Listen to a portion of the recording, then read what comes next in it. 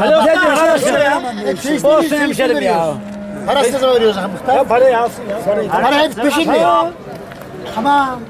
Tut para. Beşe bir şey. E ne olacak la para Türk tabi la. Ya vermez ya. Erkek davaları 600'e, 500'e. Keçiler 400'e. Geçen seneki fiyatlarla bu sene fiyatlar E, fark var tabii ki. 50-100 oynuyor. Soruyla daha şimdi abi yani karasır hesaplı, davar mı hesaplı diye soruyla.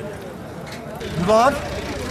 Yılan bunda bak. Yılan yılanları, hayvanlar, inekler yılanları bunda.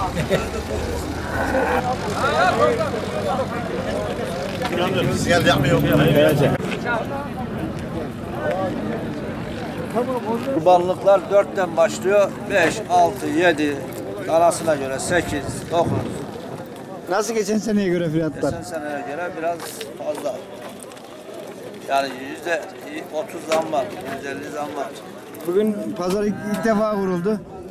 Nasıl hayvan pazarında hayvan sayısı yeterli mi?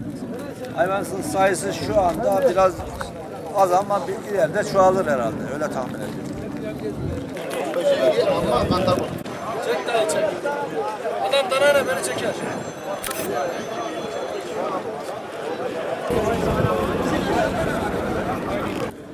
Kurbanda hayvanın dişinin sağlam olmasına, gözlerinin sağlam olmasına, yaşına yetmiş mi yetmemiş mi ona dikkat edilmesi lazım. Boynuzu kırık olmayacak geç olursa. Büyükbaş mı uygun vatandaşlar için, küçükbaş hayvanlar mı uygun? Bugün Küçük baş bu piyasaya göre daha uygun. vatandaşlar kurbanı ne gün alma, almaları lazım? Kurbanı şimdi alsa olur, son üç günde alsa da olur, arefe günlerinde. Pazarı takip edecekler. Pazar pazarı tutmuyor, bir pazar ucuz oluyor, bir pazar biraz daha bağlı oluyor. Bazen kurbanın önü bağlı oluyor, arkası ucuz oluyor. Bunlar değişiyor. Adamın yeri olmuyor son zamanlarda alıyor daha pahalı oluyor.